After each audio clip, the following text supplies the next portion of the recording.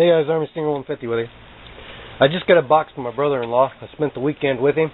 He's getting ready to go to Afghanistan, so we wanted to spend as much time together as we could. And he surprised me with a box of goodies.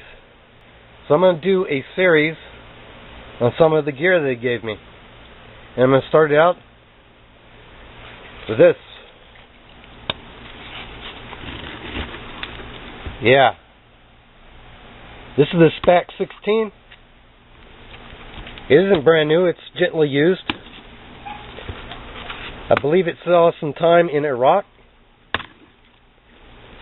So here we go. I want to show you this thing. Look at that. Holy crap. Look at the blade on that thing. Like I said, it's gently used. Look at that. Now, it's supposed to be a special purpose axe. Don't ask me what the special purpose is. I gotta tell you, this thing is badass. Look how thick that is. And it goes all the way down the spine. Look at that. Even right here. Uh, this is for an oxygen tank, I believe. It is made by Ontario. If You can read that. It says Spec Plus SPAX SP16 on the other side. Ontario, USA. Look at that. Holy crap. Now I'm going to do a real review on this when I get a chance to use it. It's got a crappy lanyard on it. I'll just have to change that out. It's got a uh, a brass lanyard hole. It's got some really nice grippy material here on the handle. I don't know what they use on Ontario blades, but uh, it's really nice.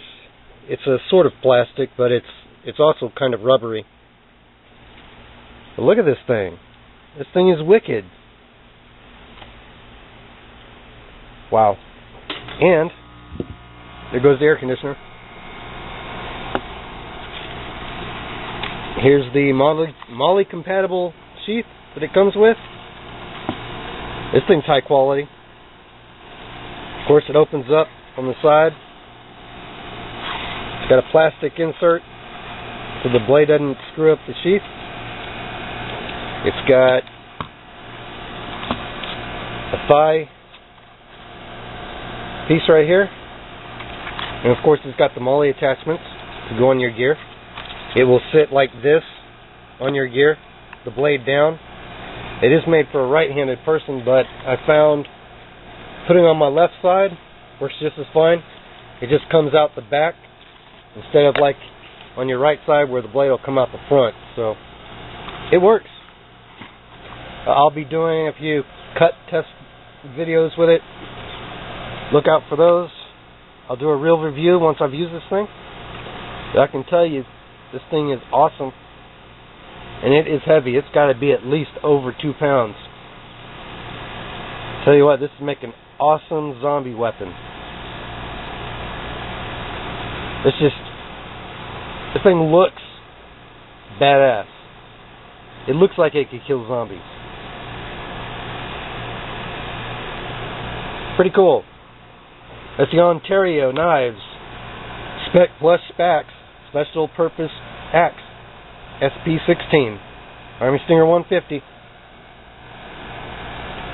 Peace.